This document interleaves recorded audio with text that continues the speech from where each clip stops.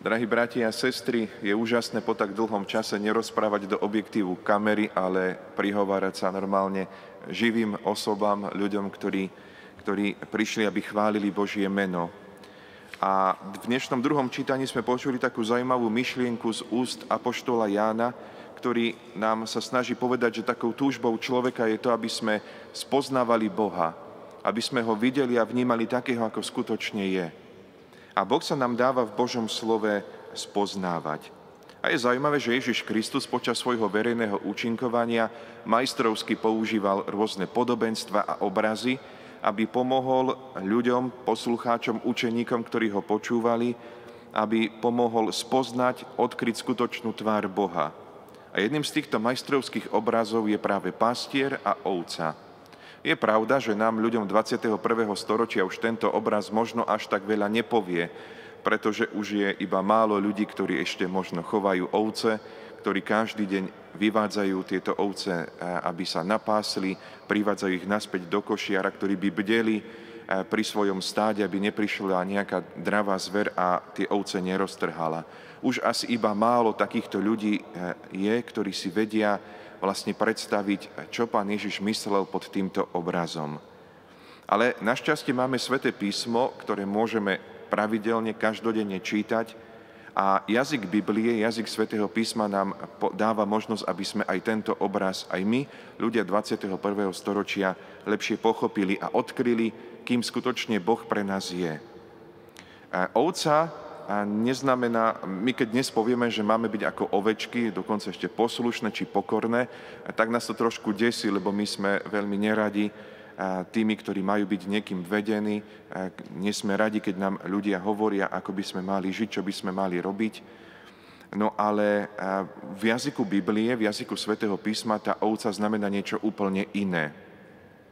Keď si, keby sme si nahliadli napríklad do životov patriarchov, ako bol napríklad Abraham, alebo jeho synovec Lot, potom neskôr Jakub, tak by sme zistili, že v živote týchto svetých mužov ovce zohrávali veľmi dôležitú úlohu. Boli ako keby časťou ich existencie, časťou ich eh, bytia, ich jestvovania. Nevedeli si svoj život bez týchto oviec predstaviť. Podľa toho, koľko mal daný muž oviec, eh, tak sa eh, tento, člo, tento človek posudzoval alebo hodnotil, či bol človekom zámožným alebo nie, či mal bohatstvo, či mal nejaký ten majetok, alebo bol iba chudobným, bezvýznamným človekom. Dokonca bolo veľakrát tak, že ľudia prispôsobovali svoj životný štýl tomu, čo potrebovala ovca. Ona bola tou, ktorá určovala rytmus života.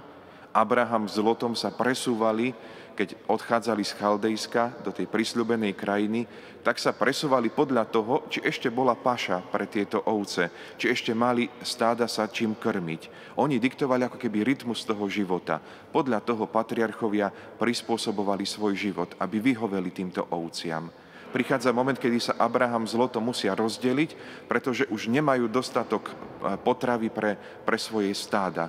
Každý si ide svojim smerom diktujú rytmus života toho človeka. Jakub dokonca mal takú skúsenosť, že keď ešte slúžil Labanovi, tak robil všetko možné, nejaké také dokonca až šľachtiteľské pokusy, aby si získal pre seba dostatok stáda, aby si mohol vziať ženu, ktorú miluje, aby mohol si založiť rodinu, aby mohol darovať život, byť tým, ktorý daruje život svojim deťom, svojmu pokoleniu. Je to neuveriteľné. Ovce zohrávali takú veľmi dôležitú úlohu. Veľmi pekný obraz je napríklad v druhej knihe Samuelovej, kedy Dávid, veľký kráľ Izraela, zhrešil s Uriášovou manželkou, dokonca až tak, že po nej, po nej zatúžil, že dal postaviť tohto Uriáša, svojho soka v láske, do prvých radov v boji, aby on čím skôr zomrel. A vtedy prorok Nátan prichádza s Božím slovom a takisto ponúka Dávidovi nádherný obraz – jedného poslušného človeka, ktorý nemal nič iné, iba ovečku, jednu ovečku, ktorá bola ako členom jeho rodiny, jedla z jeho misy, spala v jeho posteli. A potom prichádza niekto iný zámožný, ktorý potrebuje privítať priateľa, chce spraviť hostinu, pohostenie pre svojho priateľa, ktorý sa vrátil z cesty a ukradne túto ovečku tomu jednému spravodlivému mužovi. Ukradne mu všetko, všetko, čo má. Nádherný obraz. A tak vidíme, že ovca v biblickom jazyku je niek- niečím, čo je veľmi dôležité, čo je nielen majetkom toho človeka, ale je súčasťou jeho existencie. A tak keď si to premietneme teraz na Boha, na Ježiša Krista, ktorý sa nám dnes ukazuje ako dobrý pastier, je to pre mňa osobne niečo úžasné, že Boh mňa, človeka, biedného, krehkého, takého slabého, neschopného milovať, neschopného konať dobro, že takéhoto človeka si vybral za súčasť svojho bytia a robí všetko preto, aby túto existenciu, toto stvorenie, túto svoju ovečku zachránil. A robí to pravidelne. Evangelista Jan, kedy hovorí o tom, že Ježiš Kristus je dobrým pastierom, že chce, dať, že chce položiť život za svoje ovce, že je ten, ktorý neopúšťa a neuteka pred svojimi ovcami, vždycky tieto slove sa zapisuje v prítomnom čase. To znamená, to nie je nejaký prísľub budúcnosti, že Boh sa o mňa postará, keď ja budem dobrý, že Boh sa o mňa postará, keď zanechám hriech, keď obrátim svoj život, keď budem konať pokánie, že to je nejaký prísľub budúcnosti. Nie, on to robí vždycky, každý, v každom jednom okamihu, aj teraz. Hoci sa možno ešte nespravil to rozhodnutie zanechať starý spôsob života, on už teraz mi dáva jasne najavo, že som súčasťou jeho existencie, že som tak veľmi dôležitý, že on dokáže všetko vo svojej vôli spraviť preto, aby som ja žil, aby som bol zachránený. Nie je to prísľub budúcnosti, Nemusím na, na ten moment túžobne očakávať a trápiť sa a, a čakať, kým až budem dokonalý. Nie. Už teraz ako k hriešnikovi sa mi Boh ku mne prihovára a hovorí, aj život položím za teba. A spravím to vždycky, za každým, keď to budeš potrebovať. Celá moja vôľa je nasmerovaná na to, aby som ti priniesol spásu, aby som ti otvoril brány Božieho kráľovstva. A tak vidíme, že Ježiš Kristus hovorí o tom, že ja poznám svoje a moje poznajú mňa a prichádza tam nejaký vzťah medzi tými medzi tou ovcov pastierom, taký istý vzťah je aj medzi Bohom a človekom. Jasne mi hovorí o tom, že ja som Jeho, že On je môjim stvoriteľom a istým spôsobom ja patrím Bohu. Celý môj život patrí Bohu. Ale nie je to nič hrôzostrašné, pretože ja viem, že ja patrím Bohu v mene lásky v mene toho, že On je ochotný priniesť obetu svojho života, aby som ja mohol žiť, starať sa o mňa. Je to úžasné. A ja fakt chcem byť takýmto vlastníctvom Boha. Chcem patriť Bohu, som ochotný mu patriť, pretože viem, že jeho ženie láska, jeho ženie túžba, aby som bol celý čas s ním, na veky, aby som bol v Božom kráľovstve, aby som mohol hľadiť na jeho velebu. Toto a takýmto spôsobom sa Ježiš Kristus prihovára ku každému jednému z nás. Ďalšia vec, ktorá ma veľmi oslovila v tomto obraze Ježiša ako pastiera je to, že Ježiš robí všetko preto, on musí robiť všetko preto, aby aj ostatné ovce zhromaždil v jednom, v jednom košiari, v jednom stáde. On musí robiť všetko preto. A to, to sloveso musieť, evangelista Jan veľmi často zapisuje takým greckým dei alebo deon, to je taký dvojtvar.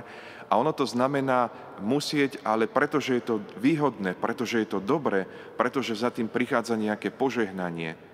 Je niekoľko slovies, ktorými vlastne Gréci opisovali musieť. To nie je tak, že ja, keď by som teraz držal jablko a hodil ho na zem, takže ono musí spadnúť na zem. Nemá inú možnosť, lebo gravitačné sily ho budú priťahovať tak, alebo keď sekeru hodím do rieky, ona sa musí ponoriť, lebo je ťažšia ako voda. Voda ju neudrží na hladine.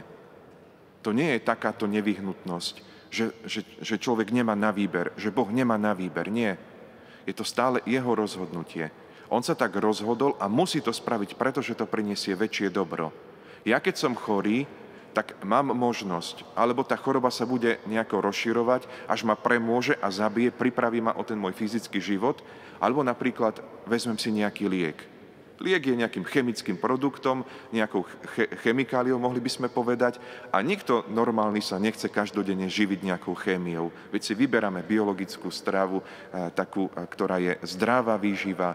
Nikto z nás nechce príjmať každodenne nejakú chémiu ale ja musím prijať liek práve preto, že chcem žiť a chcem byť zdravý, chcem sa uzdraviť. A takýmto spôsobom aj Kristus koná. On eh, hľada svoje ovce, privádza ich naspäť, ponúka im väčší život, povzbudzuje ich k pokániu, povzbudzuje ich Božím slovom, preukazuje im svoju lásku a on tak musí robiť. Nie preto, že by nemal na výber, ale preto, že vie, že toto je prospešné, že toto prinesie veľký osoch. A tak každá situácia, ktorú, do ktorej nás Boh postaví, tak ona jednoducho musí nastať práve preto, že ona mi má priniesť väčšie dobro, väčšie požehnanie, väčší pokoj. A možno je to ťažko si predstaviť, ale aj táto doba, tento čas pandémie, ktorý trvá už vyše roka, on zrejme musel prísť, pretože Boh nám chce ponúknuť väčšie dobro, väčšie požehnanie. A ja sa teším z toho, že už som od mnohých ľudí počul také svedectvo, že skutočne toto obdobie im veľa prinieslo. Že väčšmi sa snažia trpezlivo v pokore a v pokoji napríklad zvládať nejaké konflikty alebo situácie, ktoré prináša rodinný život. Že oveľa viac si vážia ľudí, ktorí, s ktorými sa teraz nemôžu stretnúť Mnohí nám e, e, volali či písali s tým, že ako už neuveriteľne túžia potom, kedy budú môcť prísť na nedelnú Eucharistiu. A predtým si povedali, že stačí na sveté príjmanie ísť raz či dvakrát do roka. Sú ľudia, ktorí nám klopú na dvere s túžbou sa vyspovedať, hoci to už nerobili rok, dva, tri, päť, lebo nebolo to pre nich také dôležité. A tak sa pýtam, prečo Kristus nám dal tento čas? No práve preto, že on vedel, že musí nastať. Musí nastať preto, aby sme si väčšmi uvedomili, ako nás miluje, aby sme väčšmi túžili po tých daroch, ktoré nám, ktoré nám ponúka, aby sme väčšmi túžili dobre, lepšie žiť ako pánovi učeníci. Pred mnohými ľuďmi sa odkryla možnosť, že oni môžu si otvoriť sväté písmo, že to nie je kniha, ktorá je určená na to, aby zaberala miesto na polici, ale preto, aby sa otvárala a čítala. Mnohí to robíte.